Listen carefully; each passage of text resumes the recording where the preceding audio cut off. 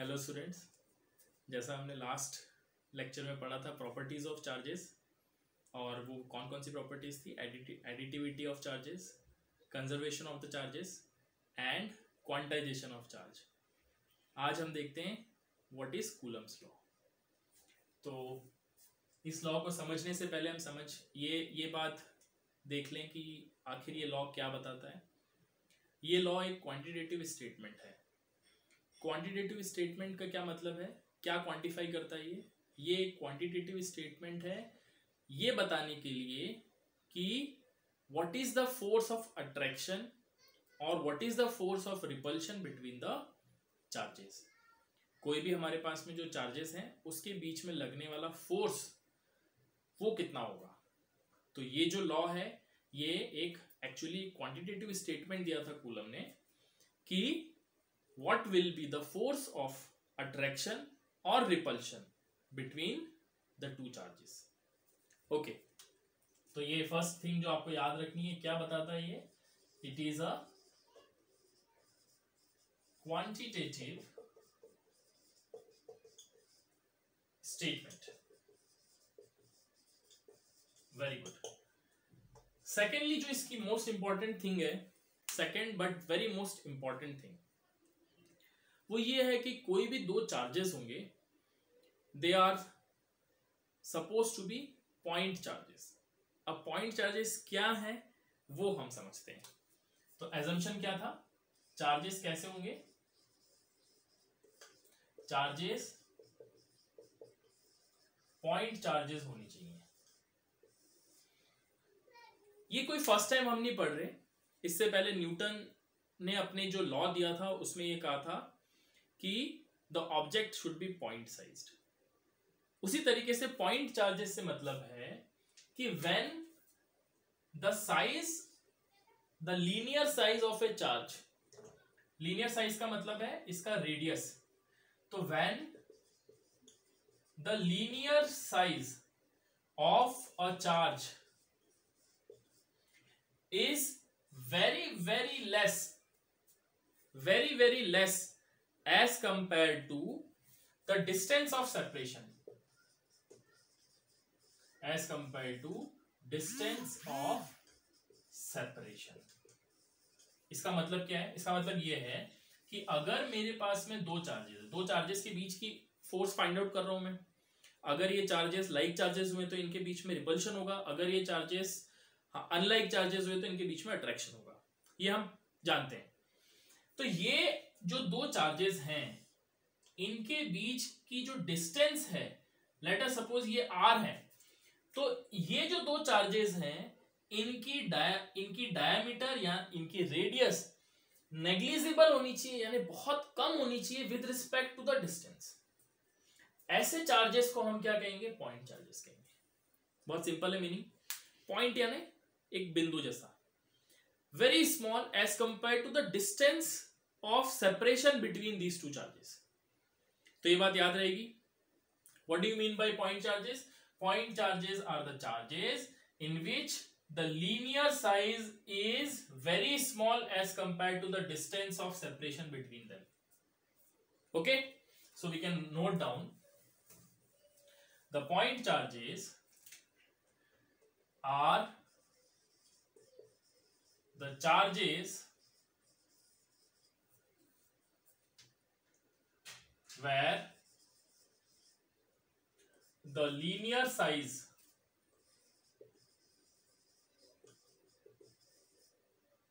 is negligible या bracket में लिखू मैं very small as compare to distance of separation between the charges यानी दो चार्जेस हैं उनके बीच में ये जो डिस्टेंस है ये बहुत ज्यादा है as compare to its radius तो ऐसे चार्जेस को हम क्या कहेंगे पॉइंट चार्जेस कहेंगे चलो ये अजम्पन हमको समझ आ गया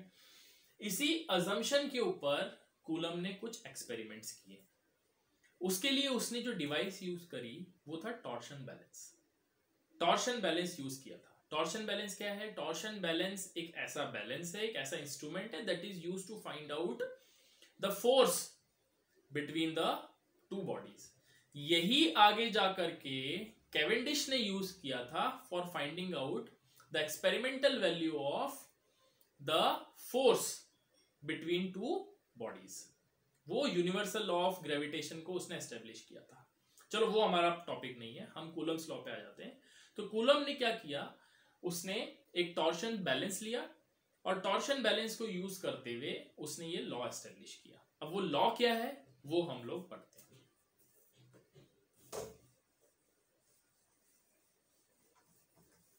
ओके तो क्या याद रखना है उस डिवाइस का नाम क्या है टॉर्शन बैलेंस टॉर्शन बैलेंस है इसका ब्रीफ आइडिया मैं आपको दे दूंगा कैसे किया वो भी बता दूंगा उससे पहले हम लॉ समझ लेते हैं कि लॉ क्या है so for any two point charges let's say one point charge is q one and there is another point charge two और इनके बीच में जो डिस्टेंस है इनके सेंटर से सेंटर तक let us say it is are so coulomb ने ये बताया थ्रू सीरीज ऑफ एक्सपेरिमेंट्स बहुत सारे एक्सपेरिमेंट्स किए उसने उसके बाद में जाके कहीं जाकर के उसने ये फाइंड आउट किया तो उसने ये बताया कि the force between these two charges is directly proportional to magnitude of the two charges ये जो दोनों चार्जेस हैं इनका मैग्नीट्यूड के डायरेक्टली प्रोपोर्शनल है इनके प्रोडक्ट के मैग्नीट्यूड के डायरेक्टली प्रोपोर्शनल है सेकेंडली उसने जो बताया वो ये था कि this force is also inversely proportional to square of the distance between these two charges ये तो थोड़ा सुना सुना सा लग रहा है ना हाँ न्यूटन लॉ जो था वो भी कुछ इसी तरीके से था न्यूटन का क्या लॉ था F is proportional to M one M two upon R square ये प्रोपोर्शनलिटी को साइन को हमने बाद में जी बोला था जो यूनिवर्सल ग्रेविटेशनल कांस्टेंट है जिसकी वैल्यू थी six point six seven into ten to the power minus eleven ये आप लोगों ने पिछली क्लासेस में पढ़ा हुआ है तो G into m one m two upon r square इसी लाइंस पर उसने सेम ये फाइंड आउट किया कि दिस फोर्स ऑफ यहां ये फोर्स खाली अट्रैक्शन का था पर यहां कैसा है दिस फोर्स ऑफ अट्रैक्शन और repulsion depending upon the kind of charges अगर लाइक चार्जेस हैं तो रिपल्शन होगा अनलाइक चार्जेस हैं तो अट्रैक्शन होगा ठीक है तो उसने बताया कि जो फोर्स है वो प्रोपोर्शनल है the magnitude of the product of two charges and inversely proportional है square of the distance between them तो मैं इसको अगर इस तरीके से बात करूं कि F is proportional to q one q two का magnitude divided by r square तो इन दोनों को मैंने क्लब करके लिख दिया राइट right. तो अब ये इस प्रोपोर्शनलिटी के साइन को अगर मैं हटाता हूं तो मुझे आपको यस आपको बताएं कि मुझे कुछ कांस्टेंट से रिप्लेस करना होगा so so, f is given by some constant K let's say this K is a Coulomb's constant क्योंकि कूलम ने दिया है ना तो लेटर से दिस के ये जैसे यूनिवर्सल ग्रेविटेशनल कांस्टेंट था उसी तरीके से let's say this constant is a Coulomb's constant so F is equal to K times of q one q two का magnitude divided by r square okay तो ये force जो है ये बताया था कूलम ने अब इसको हम डिफाइन कर लें तो as given by Coulomb the force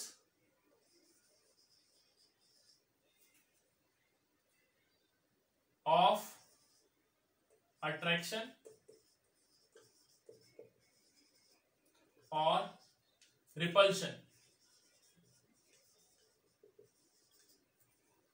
between two point charges is directly proportional directly proportional to magnitude of product of the charges and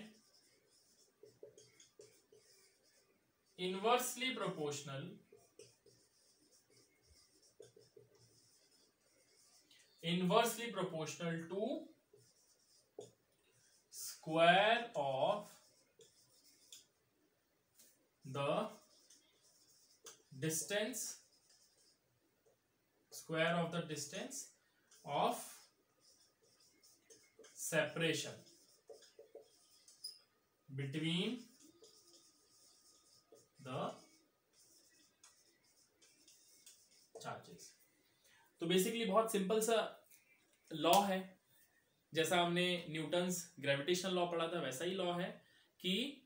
the force of attraction और repulsion between any two point charges is directly proportional to the magnitude of the product of the charges and inversely proportional to the square of the distance between them and this के is known as Coulomb's constant ये जो के है it is known as Coulomb's Coulomb's constant चलो यहां तक हमको समझ आ गया तो मैं इसको रब कर देता हूं आगे बढ़ते हैं ये पता करते हैं कि आखिर उसने फाइंड आउट कैसे किया था कैसे उसने ये पता किया कि कूलम्स लॉ जो है एस्टेब्लिश हो या कैसे एक्सपेरिमेंट के अंदर उसने फाइंड आउट किया ओके तो देखते हैं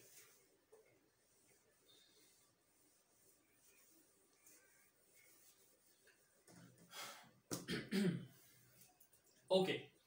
तो बेसिकली उसने क्या किया एक इंस्ट्रूमेंट लिया टॉर्शन बैलेंस आप ये समझ के चलिए कि उसने जो बैलेंस लिया था उस उसके अंदर उसने एड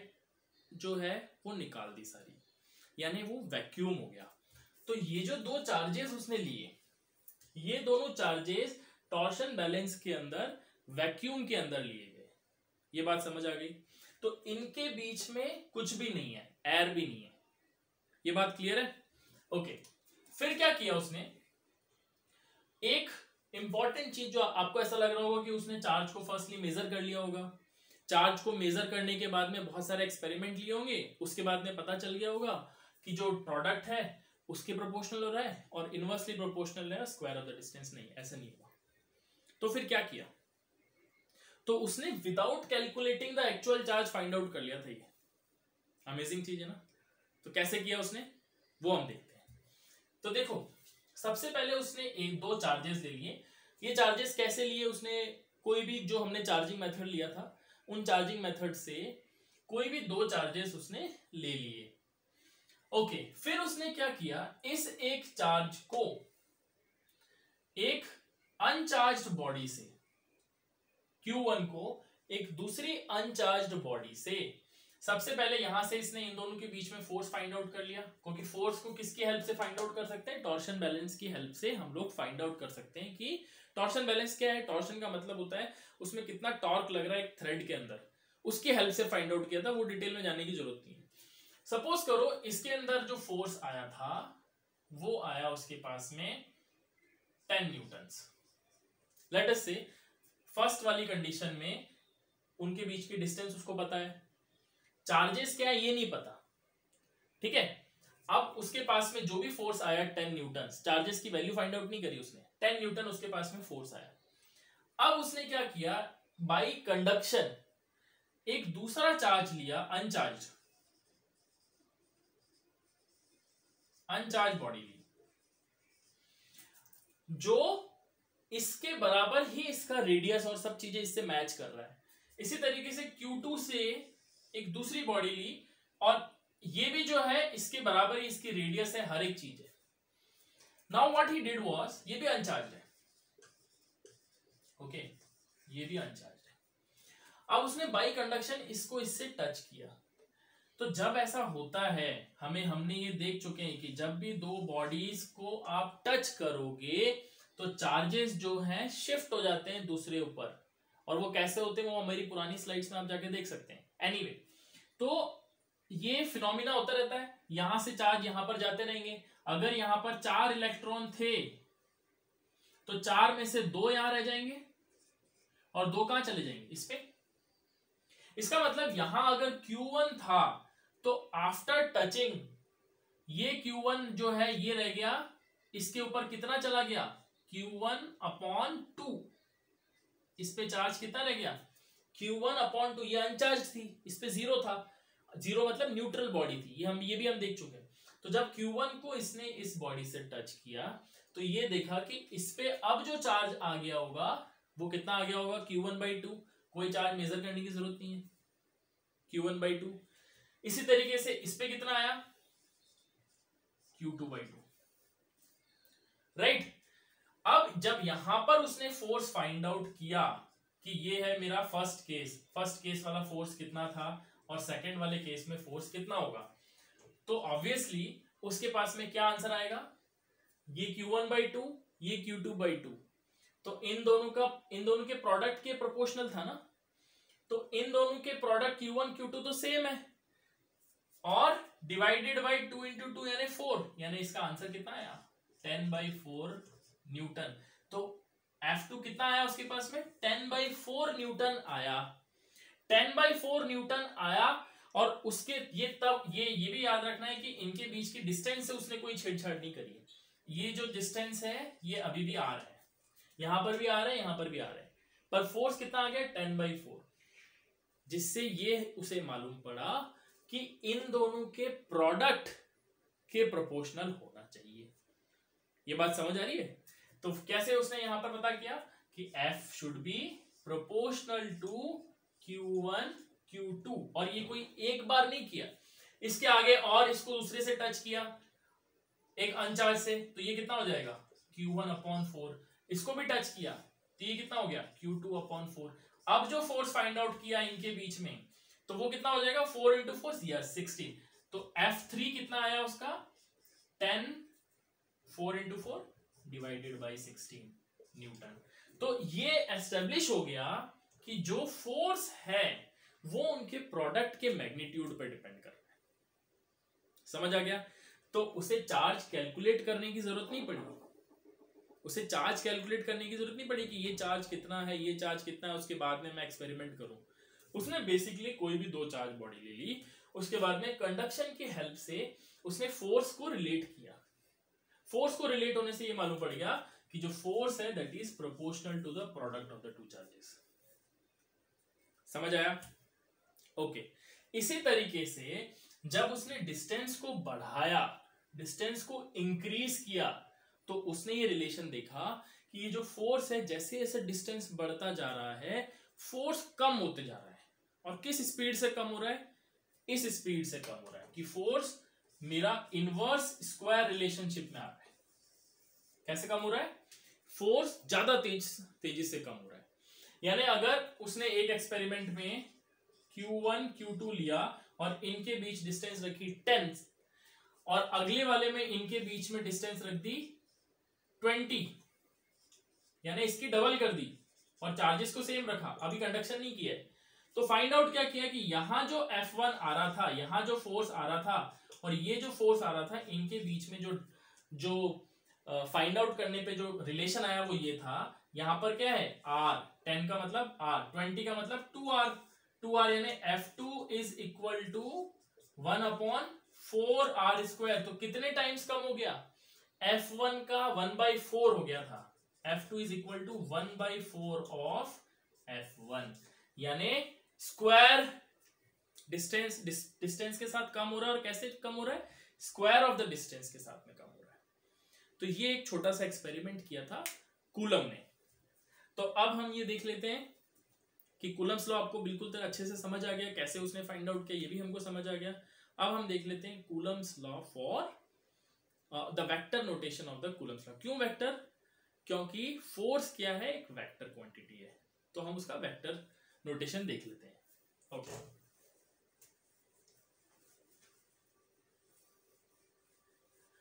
अच्छा एक बात आपको याद रखनी है कि कूलम को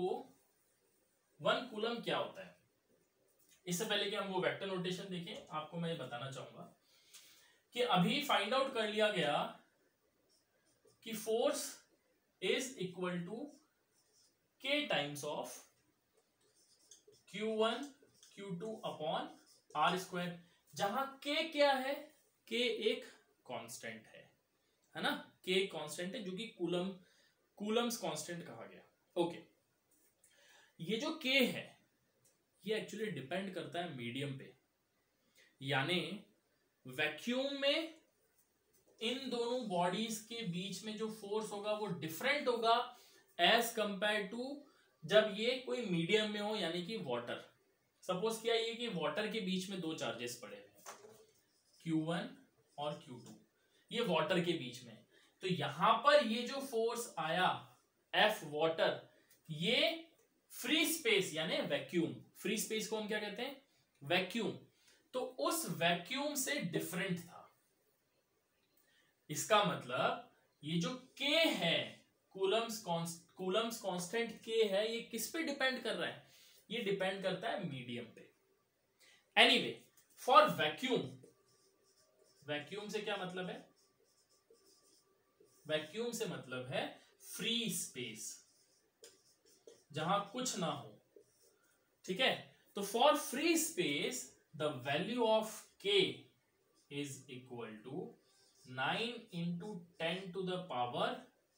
nine अब यूनिट्स फाइंड आउट करनी है तो यूनिट्स में आप इधर आ जाओ एफ की यूनिट क्या है एफ की यूनिट है न्यूटन क्यू वन और क्यू टू की यूनिट क्या है दोनों की कूलम है तो कूलम स्क्वायर आर की एसआई यूनिट कितनी है ऐसा यूनिट होती है मीटर तो मीटर स्क्वायर तो newton metre square divided by coulomb square तो के की यूनिट क्या है newton metre square coulomb raise to minus two पर स्क्वायर कूलम्स ठीक है ये समझ आ गया आपको तो ये के की वैल्यू कब आती है ये के की वैल्यू आती है जब हमारे पास में क्या हो वैक्यूम हो यानी डिफरेंट डिफरेंट मीडियम्स के लिए the value of K will also change understood K की वैल्यू अलग अलग चेंज हो जाती है तो फॉर वैक्यूम ये जो के फाइंड आउट किया था ये वैल्यू कहां से आई तो के की जो वैल्यू है मैथमेटिकल वैल्यू वो given by four pi epsilon naught अब ये एप्साइलन नॉट क्या चीज़ है इसके लिए मैं एक अलग से लेक्चर लूंगा आपका इसको कहते क्या है इसको कहते हैं परमिटिविटी क्या कहते हैं तो मेरे नेक्स्ट वीडियो में आप ये फाइंड आउट करना परमिटिविटी से क्या मतलब है अभी फिलहाल आप ये समझ लीजिए कि ये जो परमिटिविटी है ये एक प्रॉपर्टी है मीडियम की किसकी प्रॉपर्टी है ये प्रॉपर्टी है किसी भी मीडियम की क्योंकि मीडियम के साथ में फोर्स चेंज होता जा रहा है ना तो क्या चेंज नहीं हो रहा था आपने चार्जेस को सेम चार्जेस को सेम दूरी पे डिफरेंट डिफरेंट मीडियम्स में रखा तो देखा फोर्स चेंज हो गया इसका मतलब ये दोनों चार्जेस तो वही लिए थे ये डिस्टेंस भी दोनों के बीच में सेम रखी थी तो फिर फोर्स क्यों चेंज हो रहा है क्योंकि के की वैल्यू चेंज हो रही है के की वैल्यू कितनी है के की वैल्यू है के की वैल्यू होती है one upon four pi epsilon epsilon is known as permittivity ये एप्साइलन का मतलब क्या है epsilon is known as permittivity इधर लिख देता हूं एप्साइलन इज व्हाट परमिटिविटी ये परमिटिविटी किसके साथ चेंज होती है मीडियम के साथ में डिफरेंट डिफरेंट मीडियम की डिफरेंट डिफरेंट परमिटिविटी होती है डिफरेंट परमिटिविटी होने के कारण ये जो के की वैल्यू है ये भी चेंज होती जाती है जब हम वैक्यूम की बात करते हैं यानी फ्री स्पेस की बात कर रहे हैं तो के जो है उसकी वैल्यू आती है nine into ten to the power nine तो उस केस में वैक्यूम को बताने के लिए मैं ये जो एप्साइलन है कैसे प्रणंत करते इसको epsilon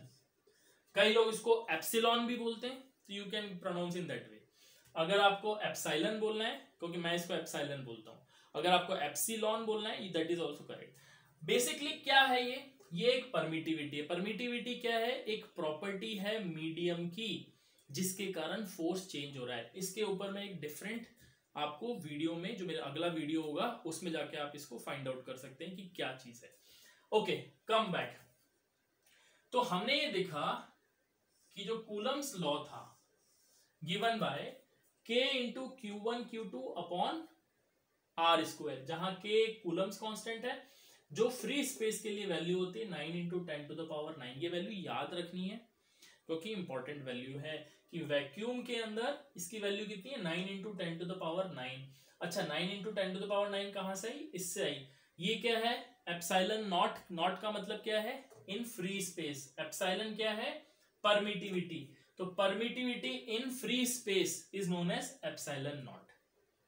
so what is the value of epsilon naught the permittivity permittivity for free space is equal to eight point 8.85 into 10 to the power minus twelve कितनी है इसकी value eight eight point five into ten to the power minus twelve अब आपकी इसको unit find out करना है जैसे मैंने यहां फाइंड आउट किया था तो के की जो भी यूनिट है के की यूनिट क्या थी न्यूटन मीटर स्क्वायर पर कूलम स्क्वायर तो एप्साइलम की वैल्यू क्या होगी वन अपॉन के की यूनिट वन अपॉन के की यूनिट का मतलब क्या है कि मैं यहां क्या कर दू newton minus one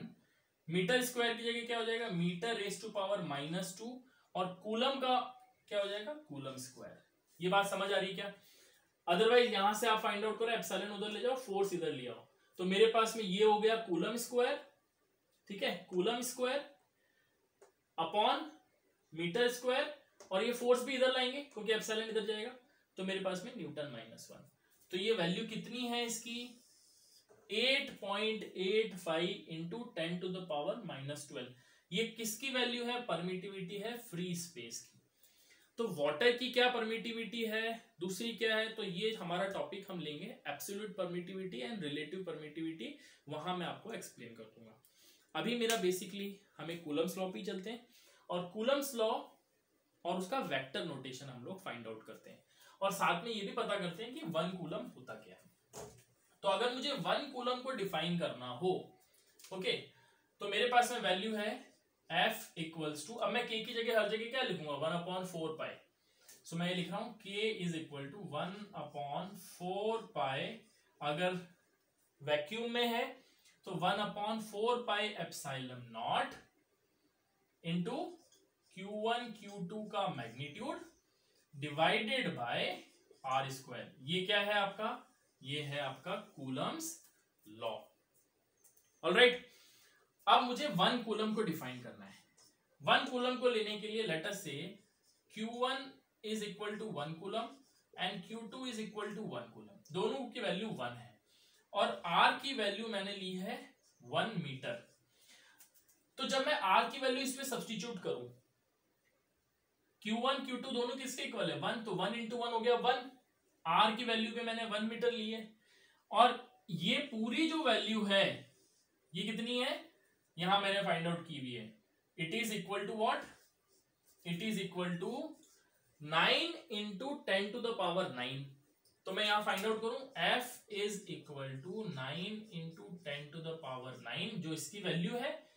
Q one Q two की वैल्यू क्या होगी one one one divided by one square is one तो मेरे पास में फोर्स की वैल्यू कितनी आ गई this much newton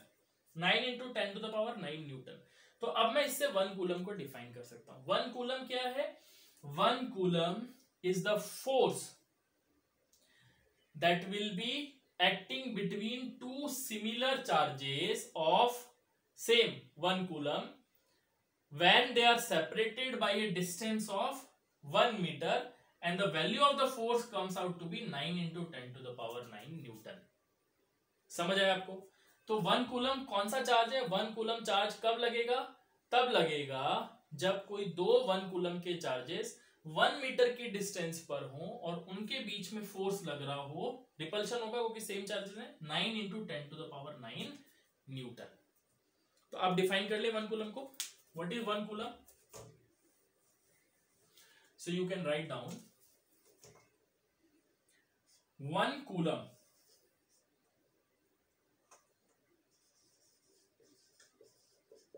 is defined as the charge on a body when it is separated by a distance of 1 meter from a same charge and experience a force of nine into ten to the power nine newton in vacuum so what is one coulomb one coulomb is defined as the charge acting between these two bodies ये अगर one coulomb है तो कब होंगी जब इनके बीच में फोर्स कितना लग रहा हो nine into ten to the power nine newton लग रहा हो और कैसा हो ये एक वैक्यूम में हो फ्री स्पेस वैक्यूम या फ्री स्पेस ये बात समझ आ गई सबको अब हम इसका वेक्टर नोटेशन देखते हैं ओके रब कर दू मैं यहां तक समझ आ गया ओके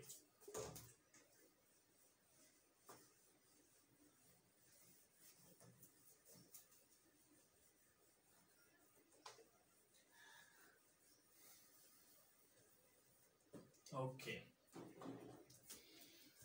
तो vector notation of Coulomb's law क्या फाइंड आउट कर रहे हैं हम vector form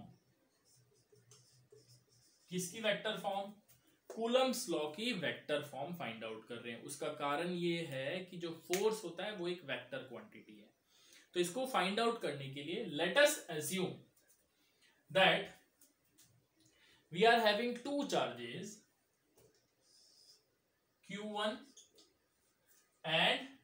Q2 and their position vectors अब ये वेक्टर आ गया तो मुझे पोजीशन वेक्टर बताना पड़ेगा पोजीशन वेक्टर क्या होता है जो पोजीशन बताता है किसी भी पॉइंट ऑब्जेक्ट की with respect to a fixed point समझ आया तो लेट अस से हमारे पास में जो ऑब्जर्वेशन पॉइंट है वो हमारा फिक्स पॉइंट कहलाता है ना ये ओ पर है यहां से मैं देख रहा हूं दोनों चार्जेस को तो यही मेरी फ्रेम ऑफ रेफरेंसेस जो है ना वो इसी जगह पे है ये जो फ्रेम ऑफ रेफरेंस है फ्रेम ऑफ रेफरेंस क्या होती है जहां से मैं फाइंड आउट कर रहा हूं कि मेरे जो दोनों चार्जेस हैं वो किस जगह पर हैं तो उनकी position with respect to a fixed point known as the observation point is will give you the position vector So the position of Q1 with respect to the observation point will give the position vector of Q1. तो let us say यहां से यहां तक इसकी जो पोजीशन वेक्टर है वो है R1 ठीक है बहुत सिंपल सी बात है R1 और ये मैंने क्या लिया है एक क्या है ये वेक्टर है ऑलराइट ठीक है तो वेक्टर है तो इसकी डायरेक्शन यहां से यहां इसी तरीके से जो Q2 है उसका position vector let us say is R2 ठीक है यहां से यहां यहां से यहां अब इन दोनों के बीच की डिस्टेंस इन दोनों के बीच की डिस्टेंस जो हमने आर बोली थी वो है अब इसको कैसे मेजर करते हैं कैसे लिखते हैं ना अलग अलग जगह पे आपको अलग अलग चीजें मिलेंगी तो मैंने क्या फॉलो किया वो आप ध्यान से सुनना Q1 और Q2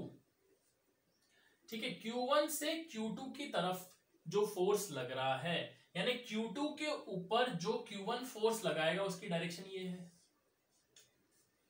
अगर ये रिपल्सिव हुआ अट्रैक्टिव हुआ तो उसकी डायरेक्शन ये हो जाएगी alright so right. so, F two one F two one का क्या मतलब है एफ टू वन का मतलब है the force on two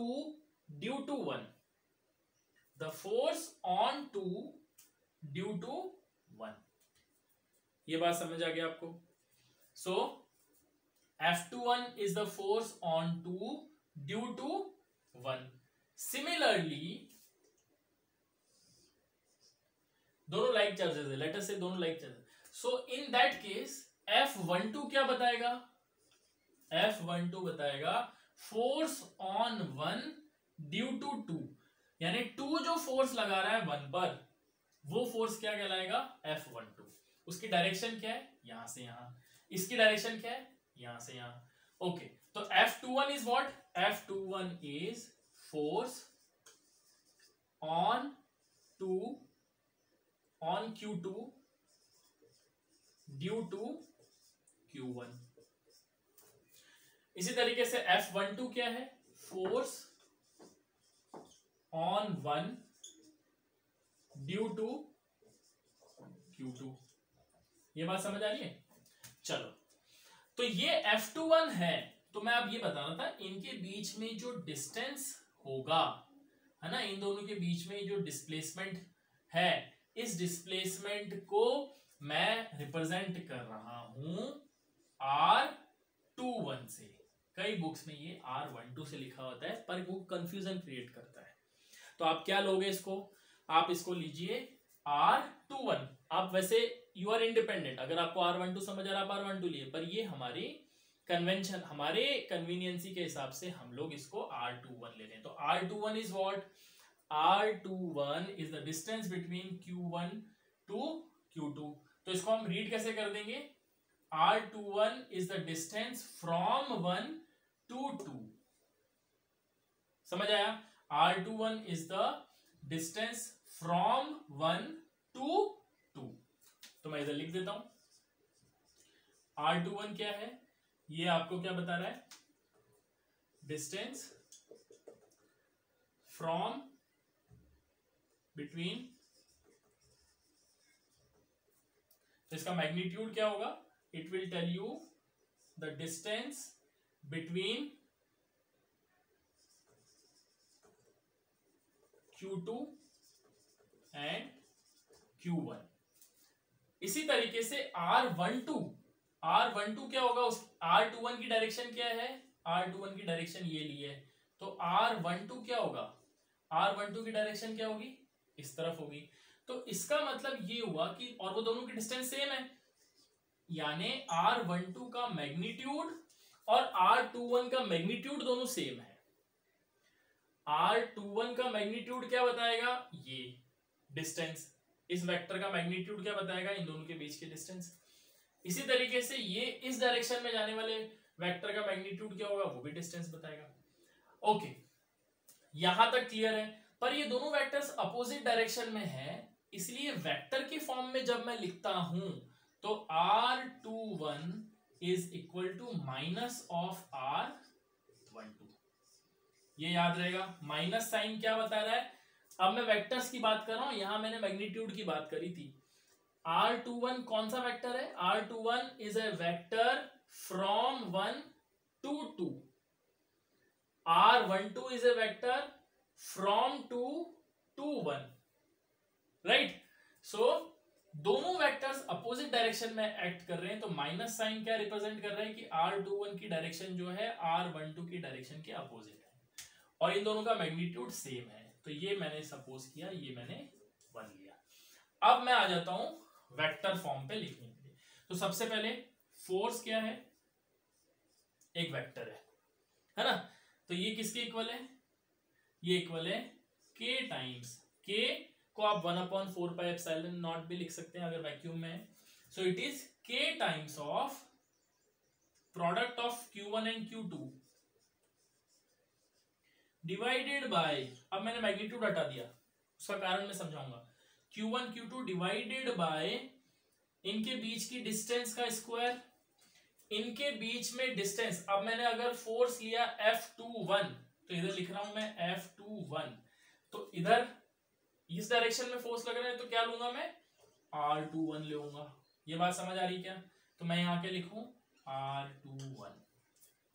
तो एफ टू वन के लिए आर टू वन का स्क्वायर अभी तक ये सिर्फ मैग्नीट्यूड बता पा रहा है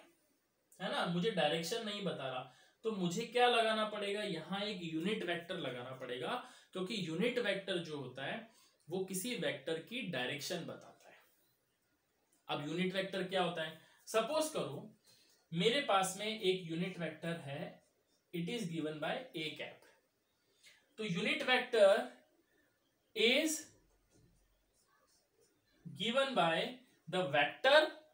divided by its magnitude कैसे होता है ये the unit vector is defined as the vector divided by its magnitude तो ये या, याद रख लो कि वेक्टर में से उसका मैग्नीट्यूड को आप डिवाइड करके खत्म कर दोगे तो पीछे तो डायरेक्शन ही बचेगी वेक्टर मतलब a quantity which is having both magnitude and direction तो यहां पर मैग्नीट्यूड तो आ गया फोर्स का अब मुझे डायरेक्शन बतानी है तो मैं क्या लगाऊंगा यूनिट वेक्टर यूनिट वेक्टर किसका यहां से यहां तक जाने वाले वेक्टर का वो कितना है आर टू वन तो ये जो मैंने आर टू वन लिखा आर टू वन अब इस वेक्टर का मैग्नीट्यूड ले रहा हूं नीचे तो क्योंकि स्क्वायर ऑफ द डिस्टेंस है तो स्क्वायर ऑफ द डिस्टेंस है इसका मैग्नीट्यूड और ऊपर क्या लिया मैंने यूनिट वेक्टर ये बात समझ आ रही है क्या ये मेरा वेक्टर नोटेशन है फॉर फोर्स टू वन वापस समझे इसको F two one is what F two one आपका फोर्स है कहां से कहां तक force on Q2 due to the point charge Q1 Q2 पे लगने वाला ड्यू टू Q1 तो R21 क्या है R21 is the vector from one to two ठीक है सो so, यहां पर हम देखें this force is equal to K Q one Q two upon magnitude R two one square R two one का वेक्टर का आर टू वन का unit vector तो यूनिट वेक्टर क्या होता है डायरेक्शन बता रहा है डायरेक्शन क्या है इस फोर्स की ये डायरेक्शन है तो मैंने यहां यूनिट वेक्टर लिख दिया ये वाला समझ आया आपको इसी तरीके से अगर मुझे F one two find out करना होता एफ वन टू तो एफ वन टू कितना होगा एफ वन टू होगा equal to K times Q one Q two का मल्टीप्लीकेशन Q1 Q2 का मल्टीप्लीकेशन डिवाइडेड बाय उनके बीच की डिस्टेंस या तो ये लिखो या ये लिखो यहां वन टू है तो मैं क्या लिख दे रहा हूं R one two okay R one two का स्क्वायर देन आगे क्या करोगे या मैग्नीट्यूड का स्क्वायर इस तरीके से लिखना है ओके देन इस डायरेक्शन में लग रहा है तो यूनिट वेक्टर भी कौन से वेक्टर का लूंगा आर वन टू वेक्टर का यूनिट वेक्टर तो ये आर वन टू का कैप तो मालूम पड़ गया मेरे पास में सीधी सी चीज है जब यहाँ एफ टू वन आएगा तो यहाँ R two one R two one का मैग्नीट्यूड का स्क्वायर जब यहाँ वन टू आएगा तो यहाँ R one two unit vector R one two का स्क्वायर दोनों फोर्सेस मैंने डिफाइन कर लिए तो ये क्या है ये फोर्सेस हैं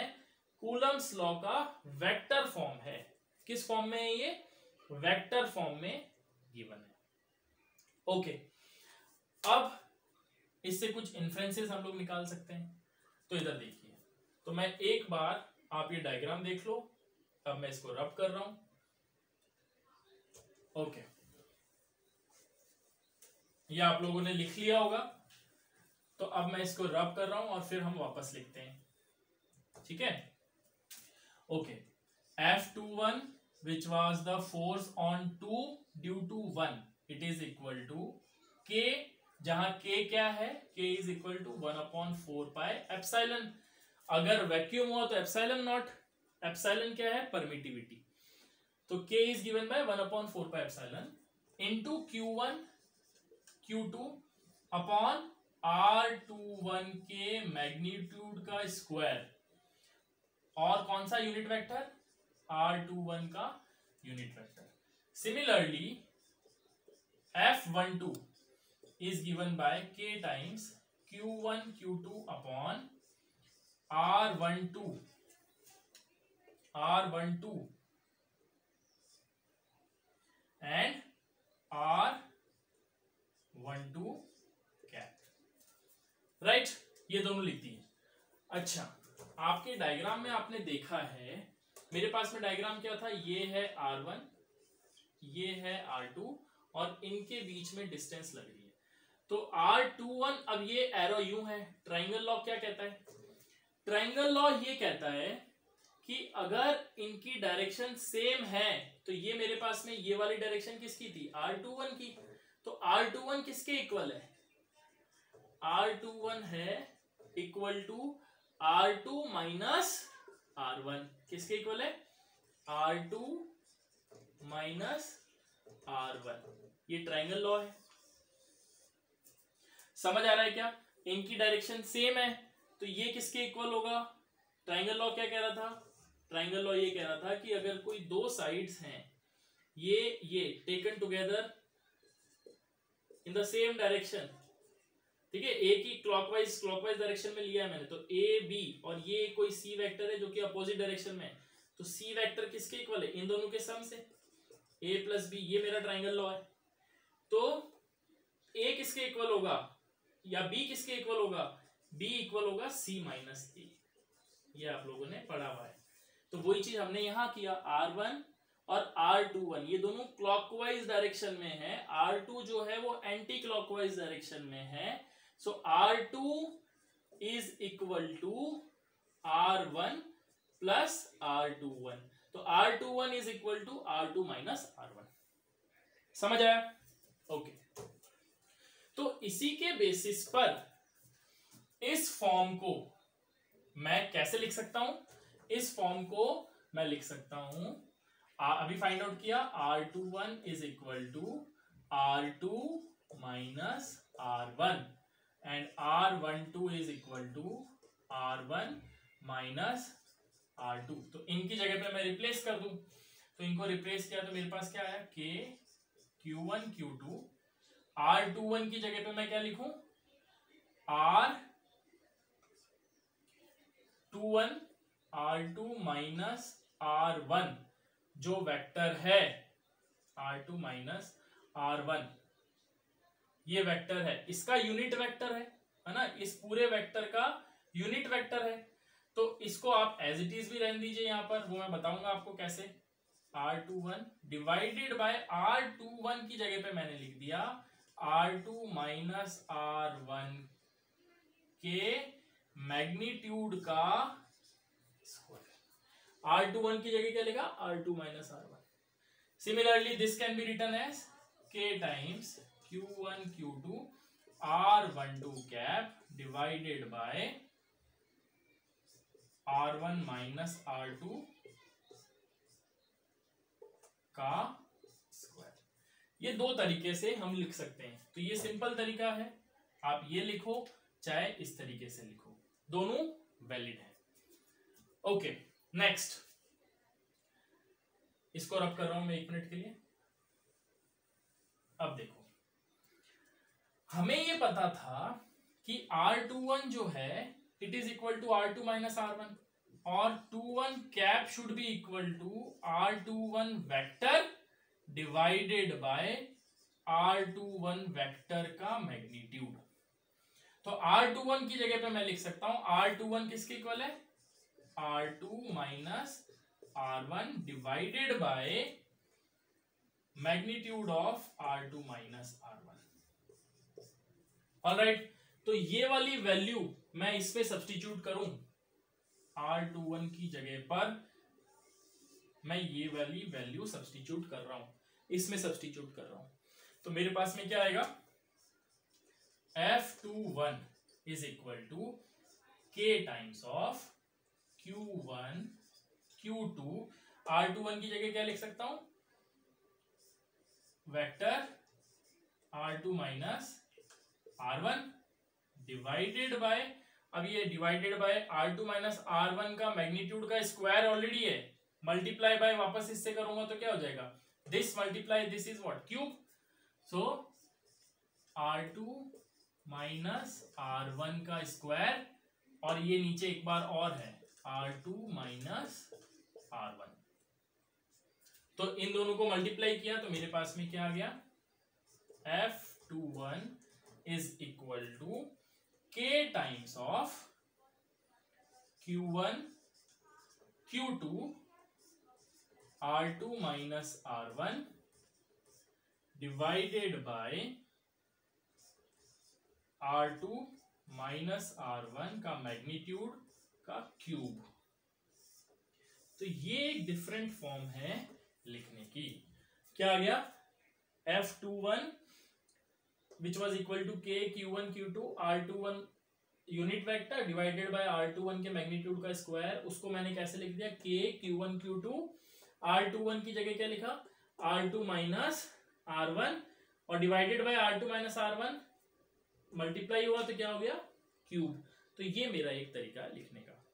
तो इसी तरीके से एफ वन टू भी मैं लिख सकता हूं ओके तो ये पूरा है आप लोगों ने लिख लिया होगा मैं इसको रब कर रहा हूं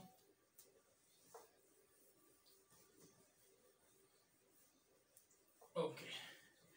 तो अब हम इधर लिख लेते हैं F two one is equal to K times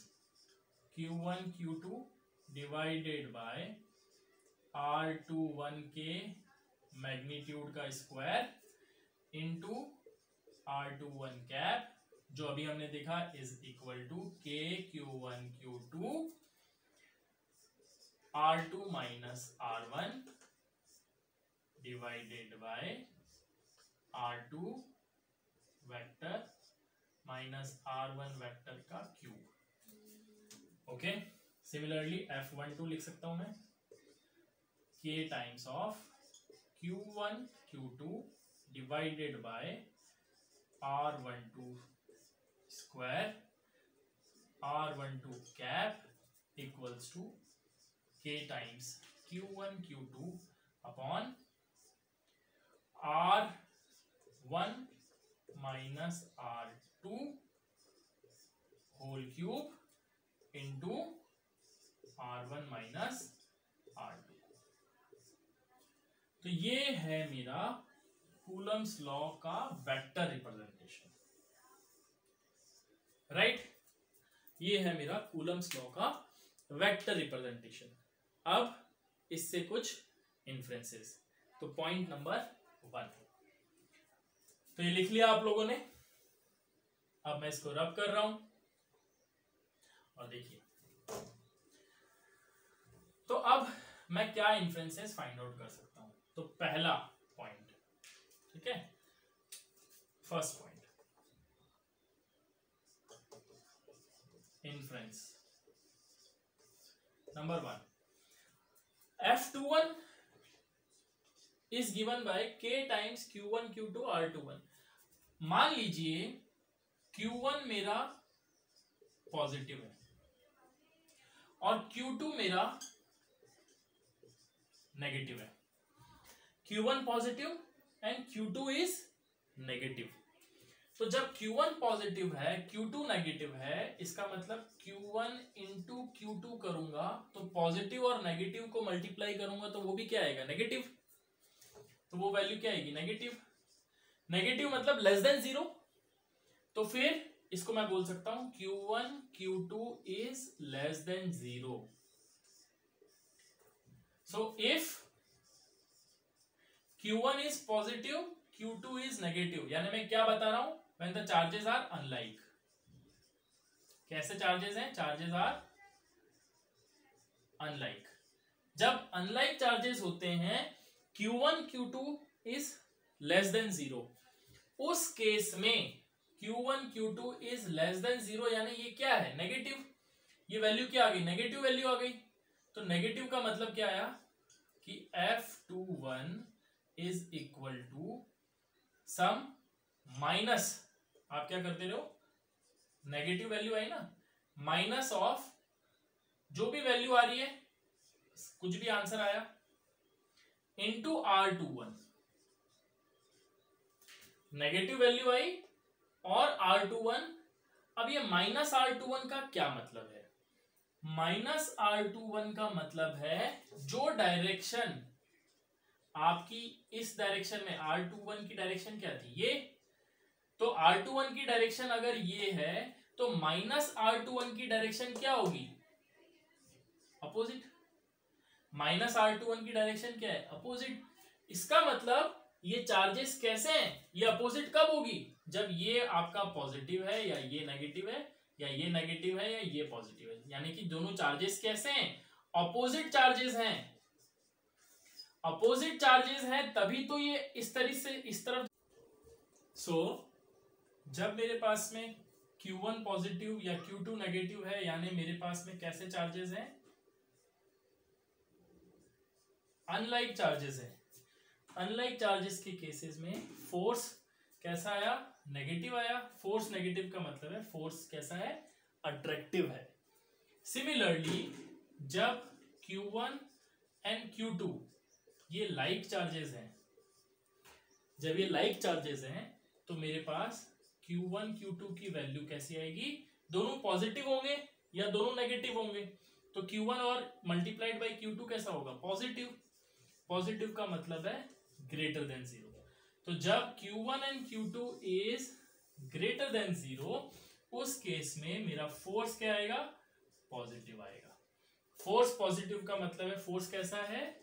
force is repulsive force कैसा होगा रिपल्सिव होगा तो इन्फ्लुएंस नंबर वन मालूम पड़ गया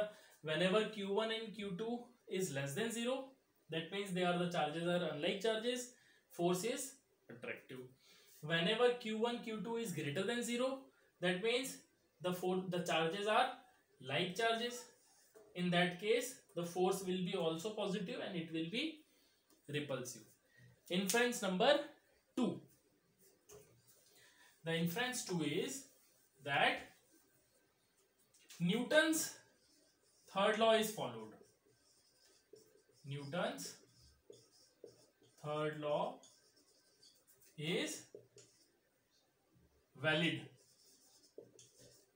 कैसे? देखो, F21 is given by this and F12 is given by K times Q1, Q2 divided by R one two का मैग्नीट्यूड का square into R one two का cap but R one two cap we have already seen that R one two is equal to minus of R two one ये unit vector किसके equal है minus of R two one के तो इसको मैं replace करूं तो मेरे पास में आती है value K times Q one Q two upon R one two square into इसकी जगह पे क्या लिख दू आर टू वन कैप यहां क्या आ जाएगा minus because R one two is equal to minus of R two one तो ये आ गया सो फ्रॉम दिस लेटर से इट इज टू और ये कितना है मेरा वन सो वन और टू से कंपेयर करूं तो मुझे क्या मिलते हैं दोनों दोनों में बस एक ही डिफरेंस है माइनस साइन का क्योंकि आर वन टू का मैग्नीट्यूड और आर टू वन का मैग्नीट्यूड तो दोनों सेम है दोनों एक ही डिस्टेंस बता रहे हैं तो मेरे पास में एफ टू वन किसके इक्वल आ गया F two one is equal to minus of F two one minus of F one two so the Newton's third law जो ये बोलता है कि दोनों फोर्सेस F12 और F F21 और एफ वन टू दोनों लग तो रहे but they are equal and opposite so F two one is equal to minus of F one two तो Newton third law is valid so guys we have seen Coulomb's law Coulomb's law का vector notation भी हमने देख लिया next class में हम लोग इसके आगे के लेक्चर्स में कुछ न्यूमेरिकल्स देखेंगे थैंक यू